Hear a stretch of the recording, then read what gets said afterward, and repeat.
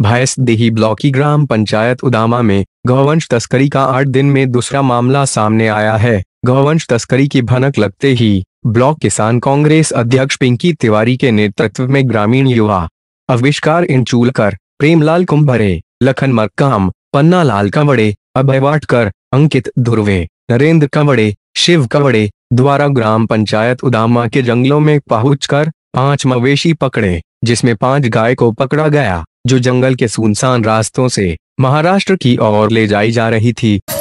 गौवंश तस्करी को लेकर के आपका क्या कहना है? हमारा कहना है कि गौ जो तस्करी हो रही एमपी और महाराष्ट्र बॉर्डर पे तो शिवराज मामा को जागना चाहिए। जो एक तरफ़ मंदिर की बात करते गौहत्या रोकने की बात करते उनके राज्य में सरायाम गौहत्या कतलेआम दिन दहाड़े चल रहा है। और ग्रामवासी जो लोग के अपनी स्वेच्छा से एक हिंदू होने के नाते गौ को गाय बच्चा के लेके आ रहे हैं। उनको पुलिस ने प्रोटेक्शन देना चाहिए ताकि इन पे जो है अधिकांश हकेलने वाले जिनसे आज भी इनकी लड़ाई झगड़ा हुआ जंगल में। तो इन ग्रामवासियों को पुलिस की तरफ़ से संरक्षण मिलना चाहिए और पुलिस प्रशासन जो है, उन्हें कोशिश करना चाहिए, उन्हें जागना चाहिए कि लगातार जो गौ तस्करी हो रही, गौवंश का वध हो रहा है, इसको बंद करना चाहिए। आज ये गौ माता की शराब है, गौ हत्या लगातार चालू है। इनकी बदुआ अतिशीघ्र शिवराज मामा को लगने वाली है जो एक तरफ़ बात करते बड़े बड़े कि बेटी बचाओ गंगा बचाओ गौ बचाओ। उनके राज्य में ना गौ सुरक्षित है ना गाय नदी गंगा सुरक्षित है ना कन्या सुरक्षित है। ऐसे प्रशासन को मैं निवेदन करता हूँ गाय माता से ये अनुरोध करता हूँ कि उनके बदुआ शिवराज मामा को लगे और उनकी सरकार को लेकर डूबे और पुलिस प्रशासन भी थोड़ा जागे। वैष्णदेव ब्लॉक की ग्राम पंचायत कोथलपुर में उदामा मार्ग से बैल ढोरों को पकड़ के लेके आया गया है।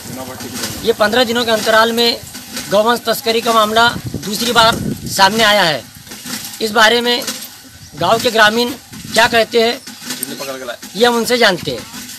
मेरा नाम पन्नालाल कौड़े क्या कहना है आपका ये गौवंश तस्करी के मामले मेरा ये कहना है सर इसके पहले भी पंद्रह दिन पूर्व हम लोगों ने गाँव के लोगों ने दस पंद्रह गायों को पकड़ा था। पुलिस प्रशासन की कमज़ोरी के कारण ये दूसरी घटना, आज हम ग्राम के लोग जंगल में अपने काम से सूखी लकड़ी जमा करने गए थे, परंतु रास्ते से, जंगल के रास्ते से आते आते हमें पाँच गाय मिली। हम लोगों ने इनका पीछा किया कि गाय चलाने वाले के पास में कुछ हथियारें भी थी और हम पे हमला करने की कोशिश कर रहे थे। लेकिन हमने हिंदू होने के धर्म के नाते हम लोगों ने इनको बचाने की पूरी कोशिश की। करीब में पड़ता है उदामा उदामा गाँव। उदामा गाँव के पास में हम लोगों ने घेरा डालकर और ग्राम के और भी हिंदू भाइयों को बुला करके हम लोगों ने इन गौ माता को बचाने की कोशिश की। आज बीजेपी के शासन में ये दूसरी घटना हमारे ग्राम पंचायत कोतलपुर में घटी है और गौ हत्या को रोकने के लिए शासन, वर्तमान शासन इतनी कोशिश कर रहा है, लेकिन ये देखिए, पंद्रह दिन के अंतराल में दूसरी घटना घट गई है। मैं चाहूँगा कि ऐसे प्रशासन को नहीं, शासन नहीं करना चाहिए, ताकि हिंदू आद, हिंदू इस प्रकार के कार्यक्रम, इस प्रकार के अत्याचार होने से गौ माता को बचाने के लिए, कांग्रेस पार्टी एक ऐसी पार्टी है, जिसके शासन में हम लोग को गौ माता का संरक्षण, उनकी हिफाजत करने के लिए बहुत बड़ा मौका मिलता है। आज हमने देखा है पंद्रह दिन के अंदर हमारे इसके पहले कई साथियों के साथ में मारपीट हुई है जो गौ को लेके जा रहे थे। हम लोगों ने बचाने की कोशिश की। आज ये दूसरी घटना है सर। हम चाहते हैं कि इनको बचाया जाए और इस प्रकार के प्रशासन को हटा दिया जाए और हमको ग्रामवासियों को मतलब सहयोग मिलना चाहिए शासन की ओर से।